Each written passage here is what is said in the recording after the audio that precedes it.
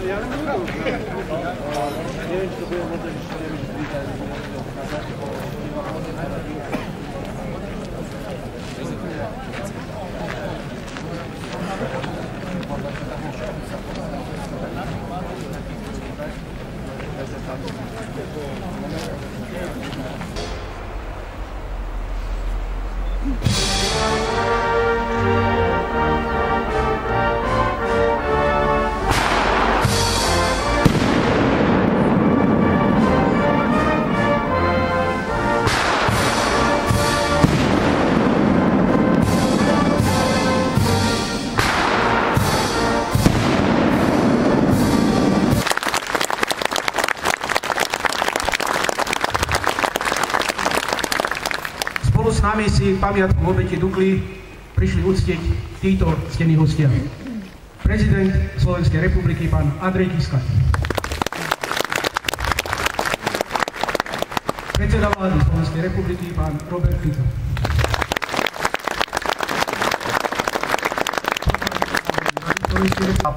Ale je fakt nespochybniteľný, že územie Slovenskej republiky oslobodzovali predovšetkým vojaci Červenej armády.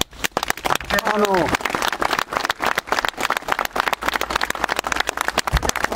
Žiadne na to.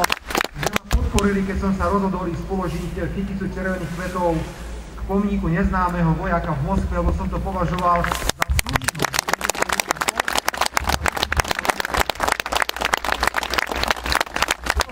Správne, hovoríme vlastné názory k moderným udalostiam.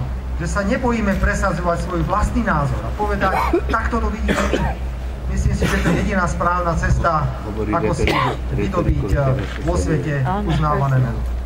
Dámy a páni, priatelia, Slovenky, Slováci, Rusínky, Rusínky, Ukrajinky, Ukrajinky, veľmi pekne vám ďakujem, že ste prišli na toto pamätné miesto. Prosím, hovorte svojim deťom, vnukom o tom, čo sa tu stalo. Pretože takýchto významných operácií bolo minimálne, boli na území Slovenskej republiky a mňa niekedy mrzí, že o nich tak veľmi málo vieme.